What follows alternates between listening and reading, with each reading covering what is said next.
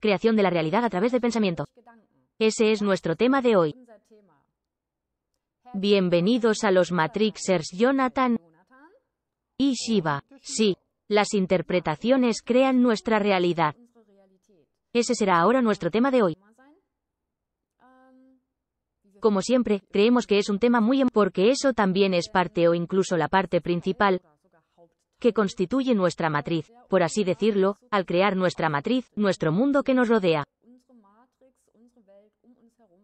Con nuestras creencias y nuestras interpretaciones de lo que dicen los demás y de lo que dicen y de lo que está pasando en el exterior.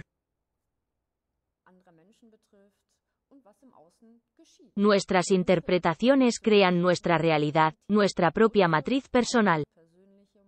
Sí, ¿cómo se crea nuestra realidad? Hoy dividimos esto en cuatro puntos. Construcción de realidad, fortalecimiento de realidad, creación de realidad y cambios de realidad, es decir, alternancia o cambio entre realidades. Estos son nuestros cuatro puntos de hoy, que trabajaremos uno tras otro. La realidad personal es creada por creencias, creencias, opiniones, interpretaciones y creencias.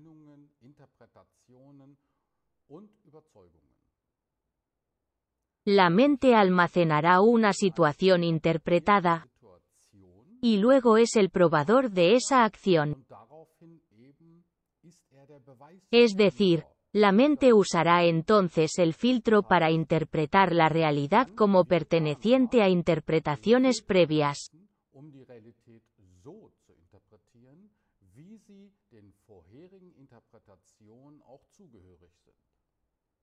Eso es lo que significa, en realidad tu pasado crea tu realidad actual. En algún momento has adoptado tu educación, escuela, trabajo, creencias de tus padres, algo así, como el dinero apesta o el dinero está sucio. Y en algún momento, si una creencia se repite suficientes veces, desde todo tipo de perspectivas, se convierte en una creencia. Y en algún momento tienes la convicción de que sí, dinero. El dinero no es bueno, el dinero nunca puede ser bueno. El dinero es malo. Y luego esa creencia está tan arraigada en ti que toda tu realidad se basa en esta creencia de que el dinero es malo. Y siempre tendrás problemas en tu vida, por ejemplo, ganar dinero, encontrar un buen trabajo, construir algo bueno para ti, solo porque constantemente te dijeron esto o porque tus padres tal vez eran pobres y dijeron que sí, el dinero es malo o tú.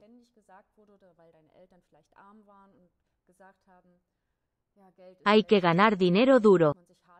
Y ese sería un ejemplo sencillo de cómo crear una realidad repitiéndola una y otra vez y usando el mismo filtro de la mente para crear tu realidad actual una y otra vez, recreando del pasado lo que acabas de aprender.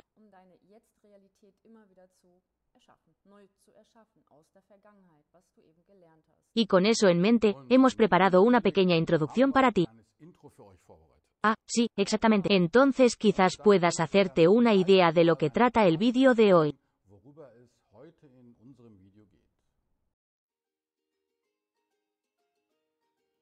Tú, Jonathan, ¿por qué todos los pájaros están posados en el tendido eléctrico?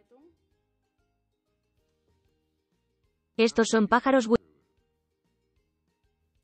Oye, ¿qué son los pájaros wifi? Se sientan en la línea eléctrica para poder recargarse. Estos son pájaros wifi. Vaya tontería. Ahora no mientas. Pero es verdad. Probablemente hayas visto un pájaro muerto antes, ¿verdad? Sí tengo. ¿Lo ves? Y no se había cargado a tiempo. Hutch. Con esta introducción, puedes ver claramente que, especialmente cuando eres joven o más joven, como un niño, siempre tienes muchas preguntas. Los niños hacen muchas preguntas.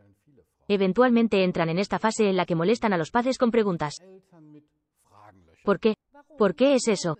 Seguro que alguno de vosotros lo sabéis. Y ahí es donde el niño comienza a construir un sistema de creencias.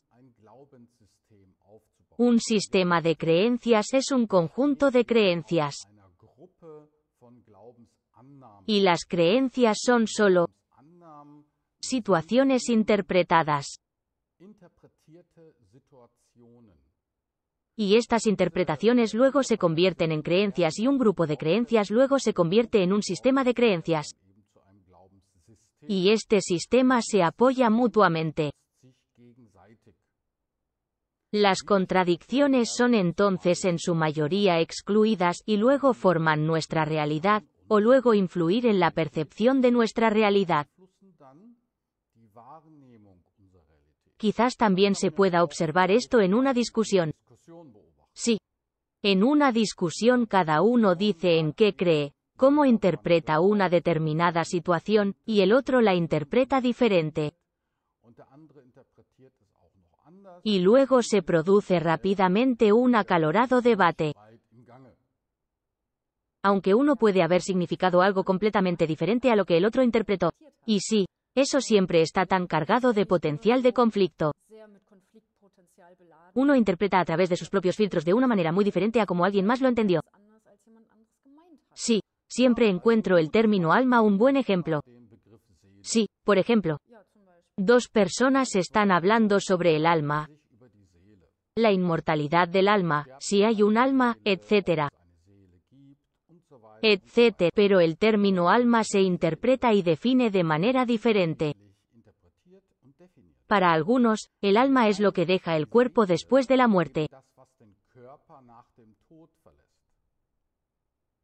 En realidad estamos hablando del cuerpo astral, entonces esta persona interpreta que el alma es lo mismo que el cuerpo astral.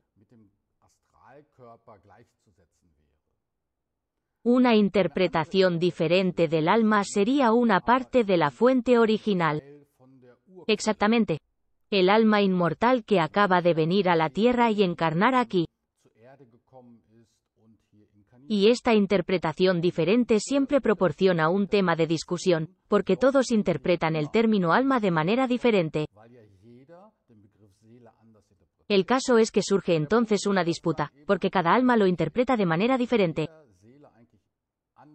Pero ambos usan el mismo término y la discusión es en realidad inevitable, aunque muchos de los involucrados en la discusión lo ven de la misma manera, por así decirlo, pero solo tienen una definición para otras palabras.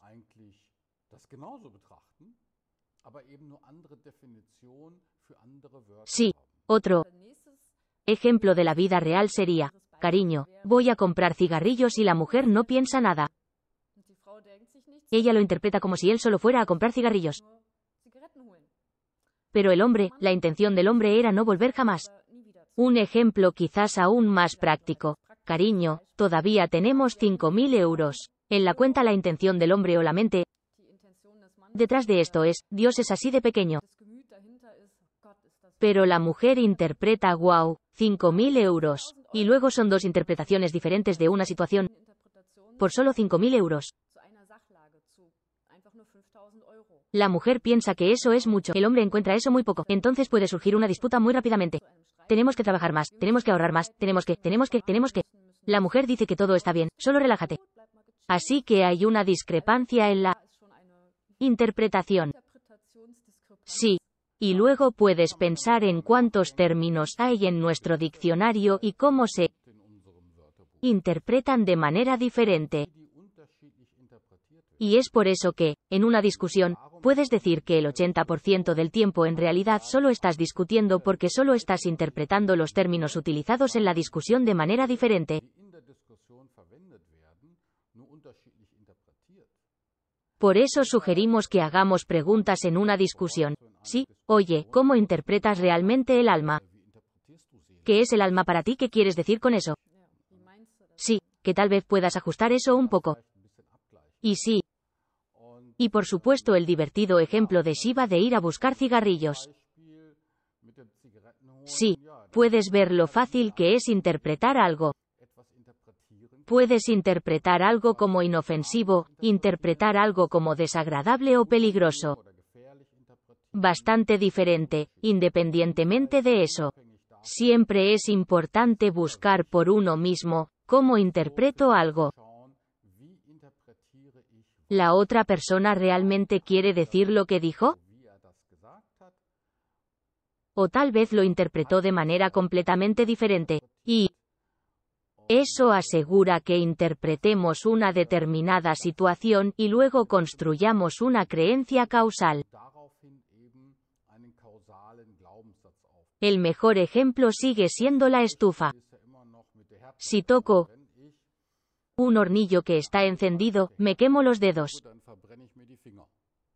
Es muy clásico.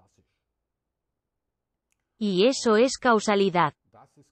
Siempre que sea, en ese momento y lugar, la mayoría de las interpretaciones o creencias se basan realmente en este principio.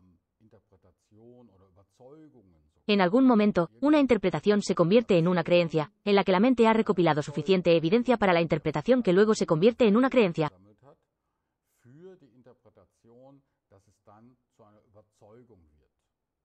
Pero eso no significa que la mente sea absolutamente capaz de interpretar correctamente una situación.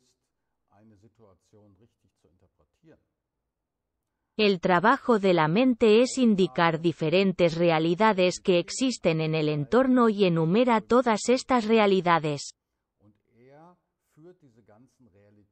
Y luego, en algún momento, comienzas a decidir sobre una realidad, sobre una interpretación, y te apegas a ella.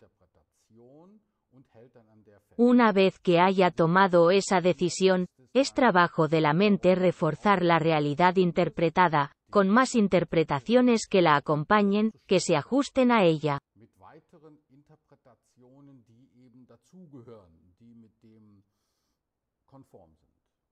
Sí. Como dije, un sistema de creencias se acumula a lo largo de los años y se vuelve más y más sólido. Así que también puedes llamarlo una construcción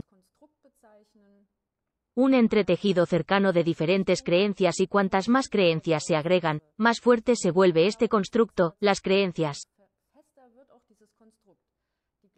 Cada creencia que repites, una y otra vez, crea una conexión neuronal en el cerebro. Y cuanto más lo hagas, más fuerte se vuelve esta conexión neuronal. Y cuantos más puntos se suman a esta creencia, digamos que tomamos el veganismo. El hecho de que alguien diga que ser vegetariano es saludable no te hace decidir volverte vegetariano, o el hecho de que alguien te diga que comer carne es saludable no te hace pasar de vegetariano a carnívoro.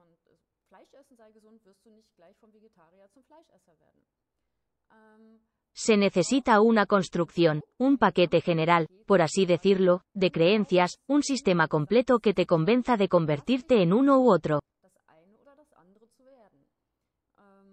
Y cuando esa construcción sea lo suficientemente grande y estable, solidificada con suficiente evidencia para la mente, entonces seguirás esta o aquella realidad y recorrerás ese camino. Pero entonces es aún más difícil aplastar tal construcción. Digamos, convertirse repentinamente en carnívoro, aunque fuera vegetariano, porque la construcción está tan solidificada y construida tan grande, que es muy difícil cortar todas estas conexiones nuevamente y construir un nuevo sistema completo. Ese es realmente el problema en nuestro mundo. Creo que tenemos, quiero decir, una persona podría llenar libros con sus creencias. No puedes simplemente tomar la creencia principal. Una creencia principal también incluye muchas pequeñas creencias secundarias que sustentan la creencia principal. Es difícil ganar mucho dinero así. Y hay una gran construcción en esta pequeña creencia. Y tenemos creencias sobre todos los temas. Así que creo que realmente podríamos llenar libros con nuestras creencias. Sí, claro. Y la gente nos sigue escribiendo y diciendo quiero ser millonario, necesito un millón en mi cuenta. Y luego comienzan a irse a la cama por la noche y desarrollan la creencia. Tengo un millón de euros en mi cuenta a partir de mañana o dentro de un mes. Sí. El problema es que esta creencia no es parte de un sistema de creencias, simplemente se sostiene por sí misma. Eso significa que esta creencia tiene muy poca energía para garantizar que usted tenga un millón en su cuenta bancaria el próximo mes.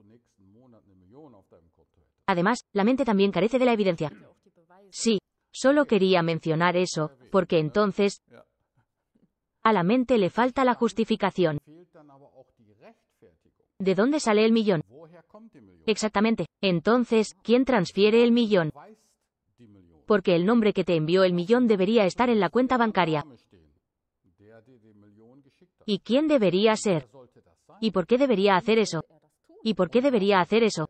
Toda esta información falta en la creencia, y es por eso que necesita un paquete de creencias donde todas estas preguntas se aclaren para la mente. Y luego funciona con el millón. De lo contrario, se vuelve muy difícil aplicar esta sola creencia y también atraer la realidad en la que luego se comporta como a uno le gustaría que fuera.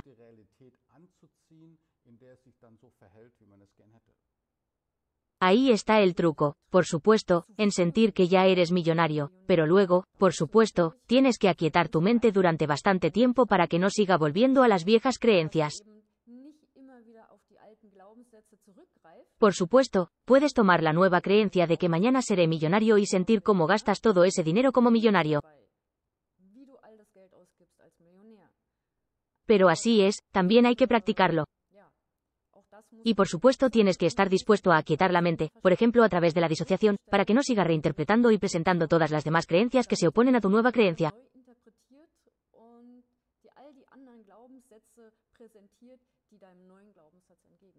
Sí, claro, porque cuando usas tu mente para atraer cierta realidad, para construir una creencia, solidificarla y luego traducirla a la realidad, y usas tu mente para ayudarte a hacer eso, tienes que crear un paquete completo de creencias que justifican todo lo que sucede a continuación. ¿De dónde viene el dinero? ¿Quién fue tan amable y demás? etcétera. Y solo con la disociación sería posible, es decir, desconectar la mente temporalmente, para que no tenga posibilidad de interpretar nada, para que luego uno atraiga la realidad que ya existe. Una realidad alternativa donde la cantidad deseada está en la cuenta. Y sí, cuando te despiertas por la mañana o sales de la disociación, puedes consultar tu cuenta y el monto debe estar allí. Sencillamente porque luego cambiaste la realidad directamente a una realidad alternativa. Porque, en términos de la existencia de realidades alternativas, en una realidad, tu equipo de fútbol favorito perdió. Pero en la otra realidad, ella ganó. Sí. En la otra realidad estaba indeciso. Y en otra realidad, de repente vino una tormenta y el juego tuvo que ser cancelado. Así que hay muchas realidades alternativas, variaciones de la realidad en la que estás y experimentas ahora mismo. Y a este respecto se da el caso de que teóricamente toda realidad es posible para el subconsciente.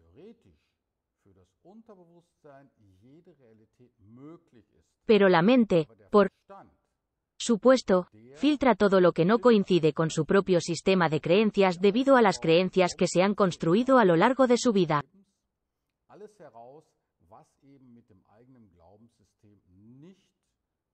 Es por eso que la disociación es tan importante, por supuesto. Y para crear realidades es definitivamente útil o elemental tener confianza. Confía en la disociación, confía en que el proceso funcionará. Confía en que tú también creas la realidad que deseas, que también tienes la capacidad. Así que sin dudas, también son muy difíciles de hacer. Pero a través de estas disociaciones también calmas tu mente en este aspecto. Así que la duda es un obstáculo. La confianza es buena y, por supuesto, la gratitud también es la clave para estar agradecido por ella. Primero por lo que hay y segundo por lo que pronto tendrás.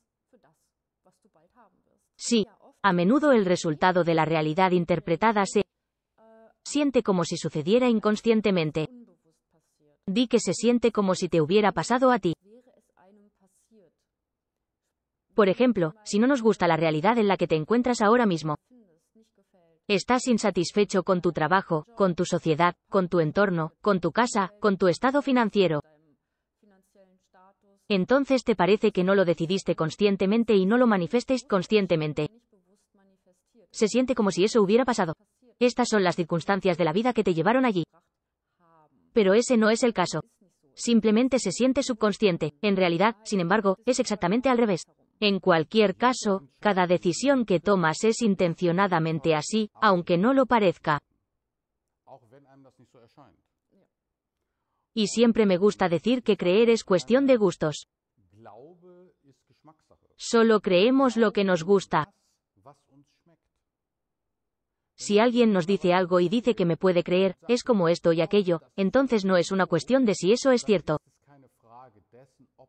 ¿Realmente es la verdad lo que dice, o es simplemente una tontería lo que dice? Pero medimos en lo que creemos y cómo queremos interpretar algo en función de nuestro gusto, no del gusto físico, sino de si somos así.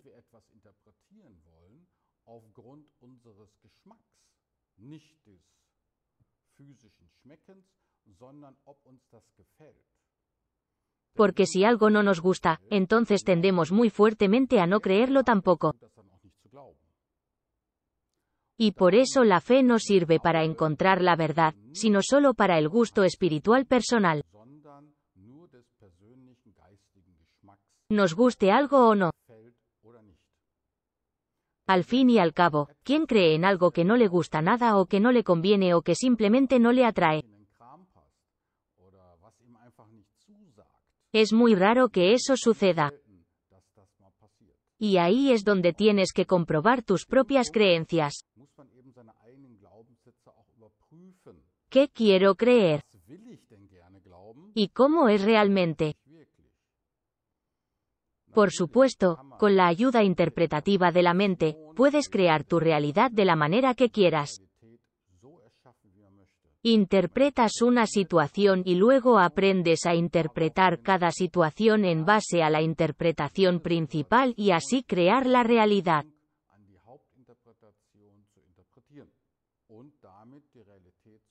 También ocurre que cuando interpretas tu realidad y no te gusta tu realidad, aunque hayas tomado una decisión consciente, Tomas decisiones en tu vida todo el tiempo, todos los días, ya sean pequeñas o grandes y qué trabajo tomas, a dónde te mudas, si bebes café o agua. Sin embargo, todo es una elección y cada elección te lleva por un camino hacia donde estás ahora. Y si no te gusta, aunque lo digas, es inconsciente. No quería.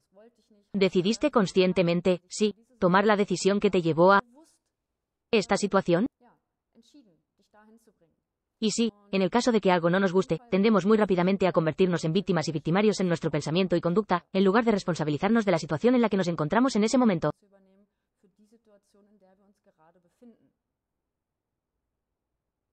Sí, ese es el punto. El punto importante de toda la historia es que el perpetrador y la víctima piensan. Como perpetrador, a menudo tienes una mala conciencia entre comillas, perpetrador de que has hecho algo donde otra persona ha sufrido daños. Y como víctima, ¿qué pasa cuando miras una situación como víctima? Por ejemplo, obtiene un pago adicional por su factura de electricidad de la oficina de impuestos o a la oficina de impuestos le gustaría tener unos miles más, porque todavía quieren construir un tanque en algún lugar, quieren que lo instalen, o qué otra historia, no sé. Y a este respecto es, por supuesto, el caso de que una víctima, la posición de víctima que uno toma en una determinada situación de la vida, naturalmente socava la propia energía creativa.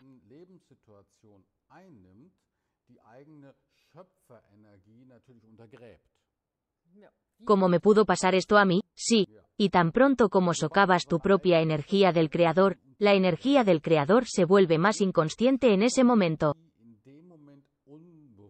Realmente ya no tienes acceso consciente a él porque te estás distanciando de tu creador en ese momento. Y este alejamiento de su poder creador solo puede darse en una posición de víctima. Porque un creador crea su realidad, y no es el caso que otros creen su realidad. No, porque Tú mismo eres el creador y por lo tanto también debes responsabilizarte de tus creaciones y decir yo lo creé así y nadie más, porque yo soy el creador.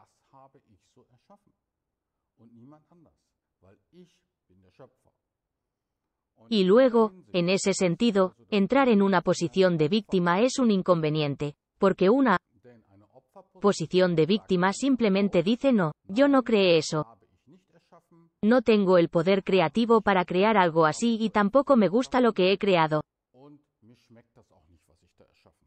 Así que no crees que lo creaste tú mismo y entonces surge naturalmente la suposición de que sucedió inconscientemente, sin que tú lo hicieras.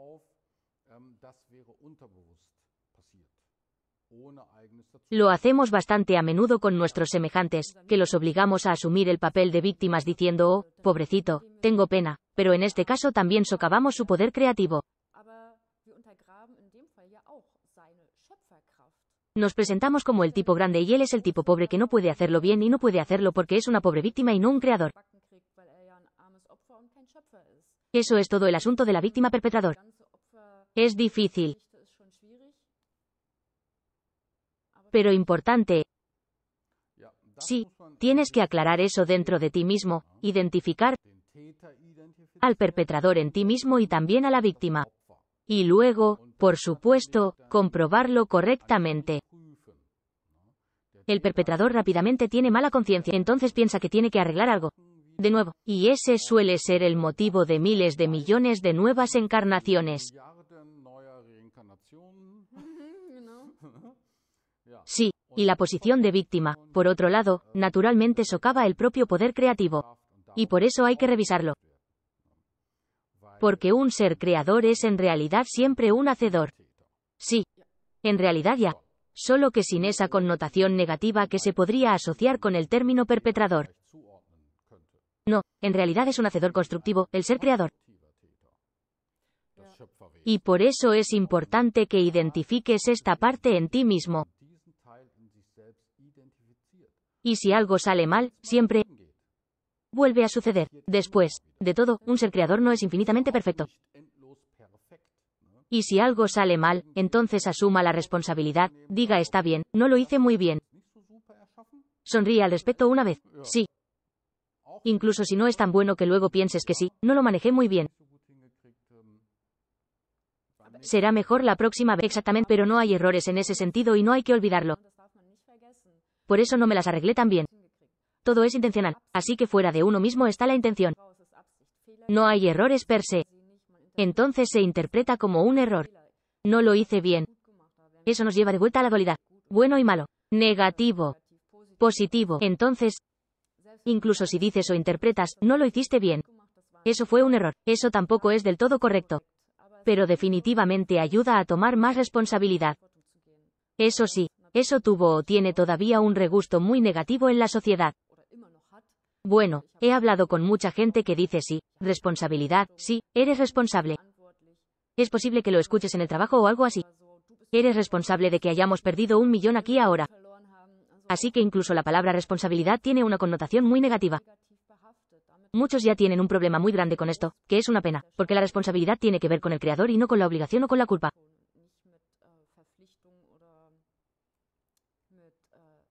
En realidad, te dicen, en realidad, la gente no te dice que eres responsable, es tu culpa. Y hay una gran diferencia entre responsabilidad y culpa. Sí, y aquí tenemos el problema que comentábamos al principio, el concepto de responsabilidad, porque la responsabilidad es también una cuestión de cómo se interpreta este término, porque algunos entienden la responsabilidad como tener un trabajo, tener un techo sobre la cabeza y tener una familia.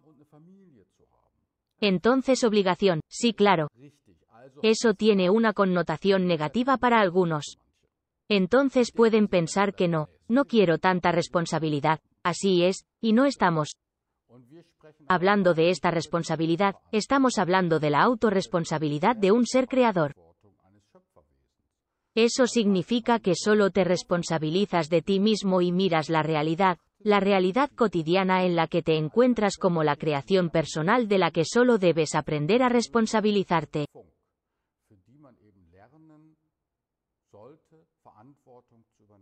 Por eso es muy importante, porque es muy posible que algunos de ustedes reaccionen a las palabras que hemos usado, como la palabra responsabilidad, con no estoy loco y voy a tener una familia porque esa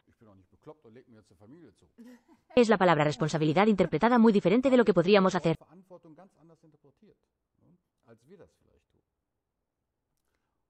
Sí, sí, la responsabilidad se trata de asumir la responsabilidad de tus propios sentimientos. Cuando te sientes mal o enojado por una situación tal como es, nadie más creó tu ira, solo tú mismo. Tal vez hay factores desencadenantes, pero ¿quién está haciendo la ira? Viene de ti, no de la otra persona. Así que tu emoción, tú eres responsable de ella, por tus acciones, por la situación que creaste, por tus palabras tú eliges. Usted es responsable de ellos. Cualquier otra cosa es más probable que se malinterprete como una obligación en lugar de una responsabilidad. La responsabilidad es realmente solo lo que creamos nosotros mismos. Sí. Entonces un vagabundo, un vagabundo. Podrías encontrarte con él en algún lugar del bosque. Y él está sentado allí en un banco. A la gente le encanta cuando el gato camina y se sienta allí en el banco. Y en ese caso te sientas con él y te dice que sí. Pues dejé mi trabajo, vendí mi casa, vendí mi carro. Elegí la vida en la calle. Y sí, estoy bastante feliz de haber salido de este sistema de esta manera. Sí, ¿este vagabundo se hace responsable de su vida? Absolutamente diría yo. Sí, correcto, asume la responsabilidad de su realidad porque tomó esa decisión y también sabe que todo lo que sucedió después de eso fue su responsabilidad, porque eligió ir por este camino. Correcto, y eso significa alguien que asume la responsabilidad. Eso no significa que de alguna manera tendría mucho dinero o tendría que tener una casa y una familia. Así que eso no tiene nada que ver con eso. Y por eso es importante dejar claro en una discusión que ves una diferencia entre responsabilidad y responsabilidad personal, para que nadie más te malinterprete. Precisamente, sí. Ahora llegamos a nuestro último punto.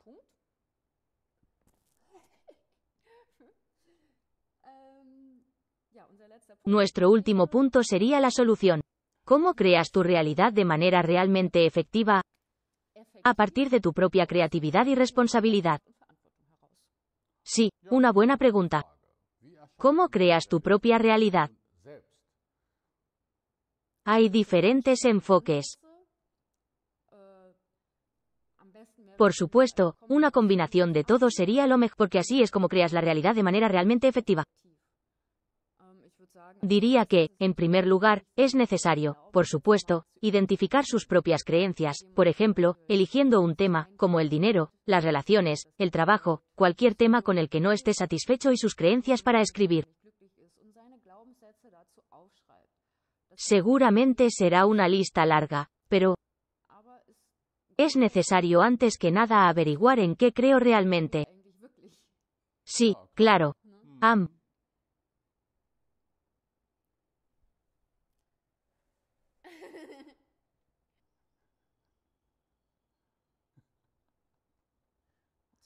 No metas tu trasero en la cámara. Así que ahora puedes ir de nuevo. Sí, puedes sentarte allí. Sí. Sí. Por lo tanto, es importante identificar primero las malas interpretaciones. Un ejemplo clásico es, por supuesto, hacer una lista de las creencias positivas de la izquierda. Esto también incluye opiniones, interpretaciones y creencias. Puedes escribirlos todos en el lado izquierdo. Luego escribe los aspectos positivos. En el medio escribes aquellos que tienen un carácter más neutral y en el lado derecho escribes tus creencias negativas. Y puedes hacer una lista completa primero, para que tomes conciencia de tus creencias. Y cuando haya pasado por eso, Tome las creencias negativas, escríbalas a la izquierda en una nueva hoja de papel o en su PC o donde sea, y luego escriba a la derecha cómo podría sonar la creencia positiva.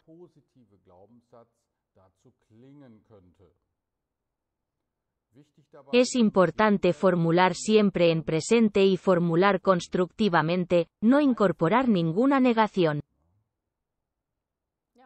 Sí, otra opción que también me sugeriste en ese momento fue empapelar tu habitación con papel tapiz blanco, es decir, papel tapiz que tal vez puedas quitar nuevamente y hacer una lluvia de ideas con tus creencias. Escriba una creencia principal en un lugar en el medio y alrededor de ella las creencias secundarias aún más alrededor. Luego las creencias redactadas de manera positiva y así sucesivamente. Así que puedes dividir toda tu sala de lluvia de ideas con tus creencias en diferentes categorías. Por ejemplo, si tienes al menos algún tipo de sala de meditación o un sótano o algo así, y sí, eso también ayuda mucho a orientarte en tu propia cabeza. Sí, y por supuesto quizás deberías organizar tus creencias de alguna manera matemáticamente. Eso es exactamente lo que es bueno. Entonces en el tema de la salud se ordena todo lo que tiene que ver con la salud del cuerpo, con la salud del psiquismo, que tiene que ver con las finanzas, con el trabajo, con la sociedad.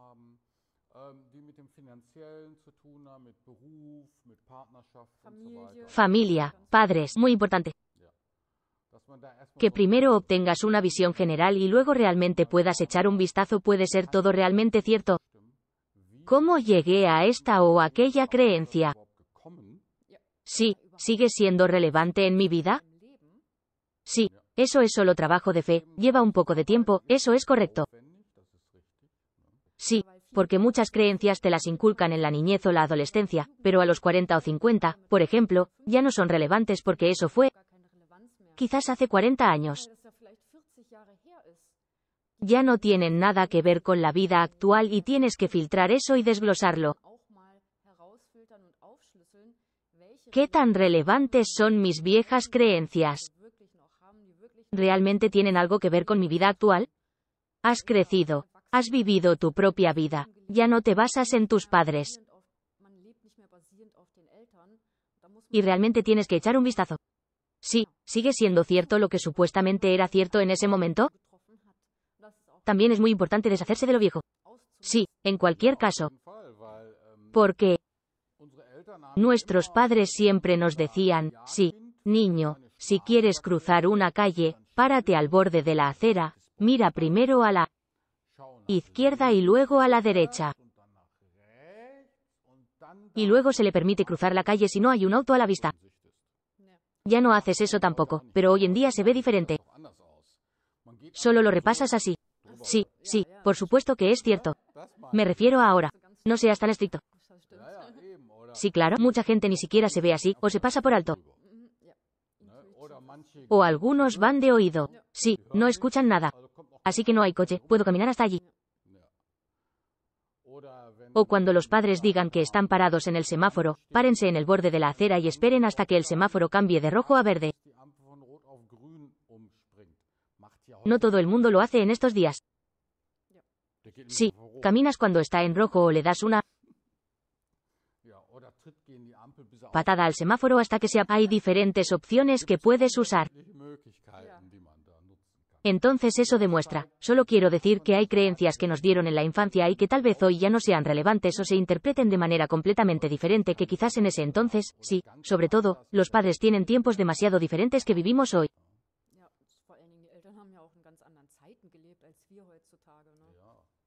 O con la comida, de niño puede que no te gustaran nada las espinacas y después de repente te empezaron a gustar las espinacas. ¿Por qué? ¿Por qué ha cambiado esta creencia?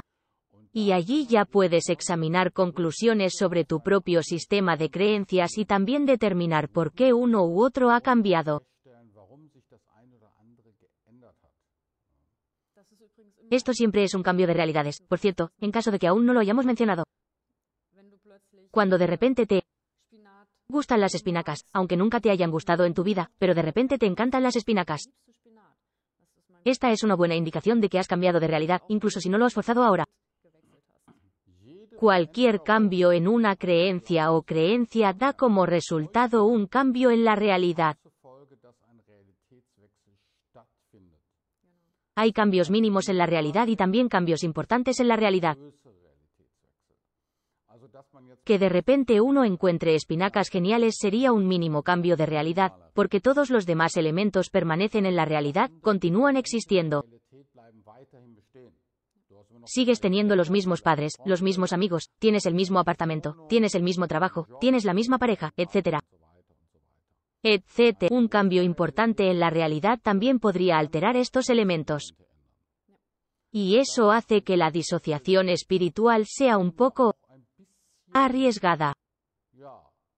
Sí, así es, porque si te excedes, puedes dar un salto más grande de la realidad, con tu pareja de repente luciendo completamente diferente que antes, o de repente tienes un trabajo diferente u otros amigos.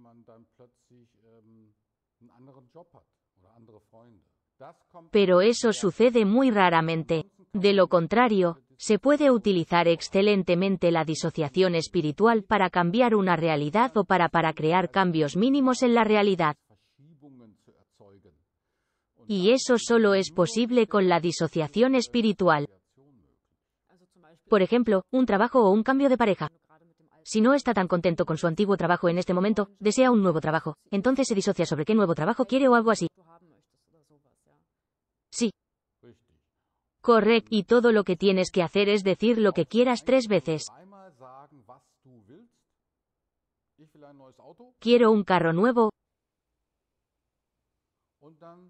y luego te disocias. Pongámoslo de esta manera, diría disociar un minuto a la vez o dos minutos a la vez. Y dependiendo de cuánta energía la realidad en la que ya posee el auto nuevo o la forma en que recibe el automóvil nuevo determina cuánto tiempo tomará.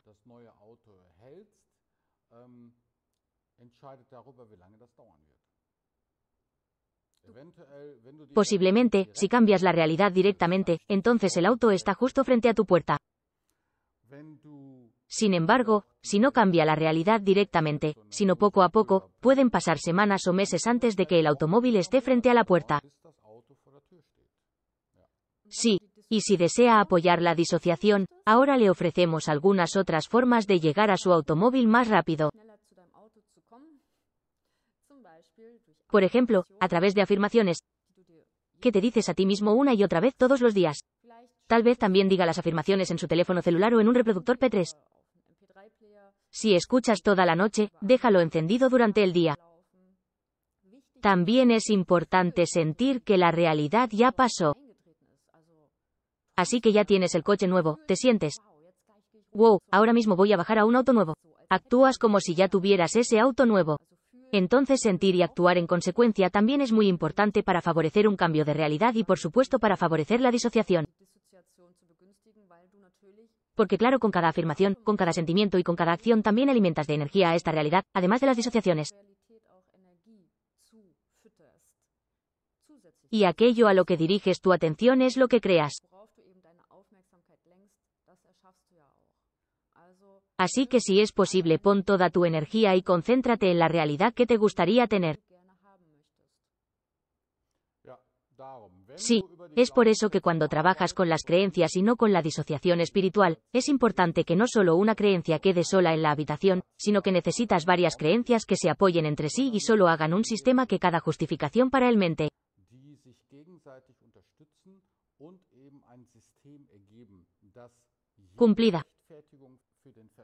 die Si quiere sus millones en su cuenta bancaria, entonces también debe quedar claro de quién proviene, por qué lo obtuvo, qué hizo por él, etc.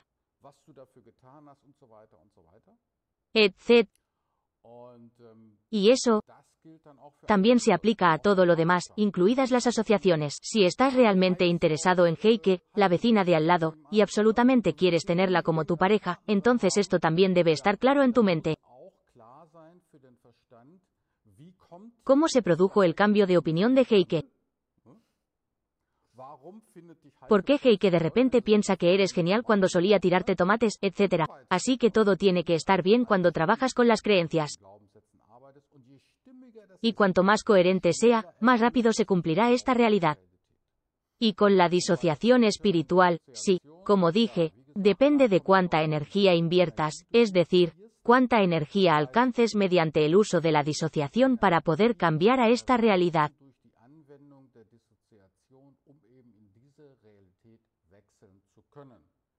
ya sea lentamente a través de cambios mínimos de realidad hacia la realidad en la que quieres estar, o si le pones tanta energía que realmente aterrizas en esta realidad de un solo golpe. aus, dass Y para terminar, todo lo que podemos decir es que la clave para una buena realidad que han creado es, como dije, asumir la responsabilidad de su realidad, tener confianza y gratitud.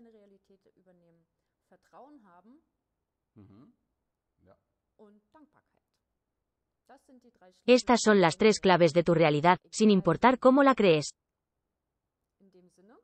En el sentido, yo diría que este es el final del vídeo. Sí, y si desea profundizar más en el tema de la matriz y no tiene ganas de mirar todos nuestros 200 vídeos de YouTube para obtener las ideas correctas o las experiencias ajá,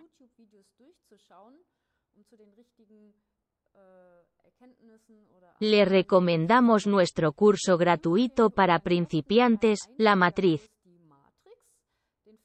Puedes encontrarlo en www.matrixer.com. Simplemente puede registrarse y participar en nuestro seminario introductorio gratuito, de Matrix. Este es un seminario de 8 horas y media e incluye todos nuestros videos y temas más importantes relacionados con la matriz. Sí, para todos los que me han estado contando, consíganme una clase gratis por ahí. Ahora te hemos hecho un favor, que siempre has estado atrasado. Un curso gratuito para principiantes, la matriz y la trampa de luz. Seleccionado y armado solo para ti. Sí, todos los que acaban de visitar nuestro sitio web matrixer.com, ven, matcom, pueden registrarse allí y comenzar el curso de inmediato, de forma gratuita. No cuesta un nada. Gano dinero. Sí, exact sí, queridos. Entonces hagamos el estándar. Suscríbete a nuestro canal y activa la campanita debajo de todas las historias. Danos un me gusta exactamente. ¿Y tú? Sí, llevas tanto tiempo en esto. También puedes... Adiós. Adiós. Hasta el próximo vídeo.